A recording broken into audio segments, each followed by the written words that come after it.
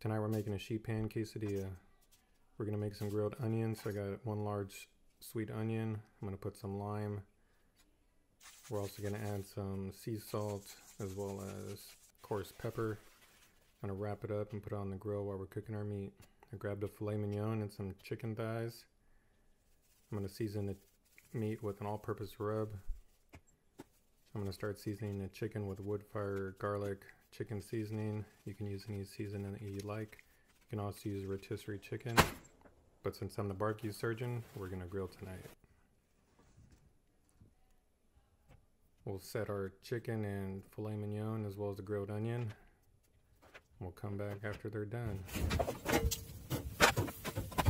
Now it's time to take the meat in. We're gonna set up our quesadilla. I put large burrito flour tortillas on a sheet pan.